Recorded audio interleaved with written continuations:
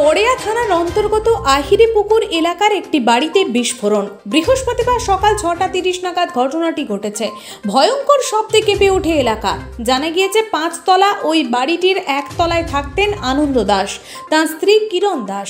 তার ন বছরের সন্তান এবং ষোলো বছরের ভাইজি ভোরে বিকট শব্দ পেয়ে বাইরে বেরিয়ে আসেন স্থানীয়রা। দেখতে পান, আটের দিন আহিরি পুকুর ফার্স্ট লেন ঠিকানার বাড়ির দেওয়াল ভেঙে পড়েছে।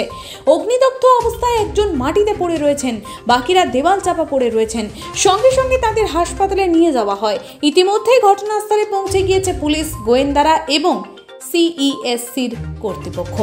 খবর দেওয়া হয়েছে ফরেন্সিক বিভাগে। সূত্রের খবর, ঘরের ভেতরে থাকা গ্যাসের সিলিন্ডার এবং বিদ্যুৎ যোগাযোগ ব্যবস্থার তেমন কোনো ক্ষতি হয়নি। তবে কীভাবে বিস্ফোরণ? তদন্ত শুরু হয়েছে। এই ঘটনায় স্বভাবতই আতঙ্কে স্থানীয়রা।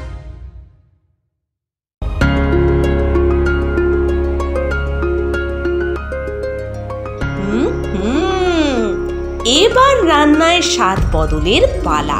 চেটে পুটে পরিষ্কার খাবারের থালা।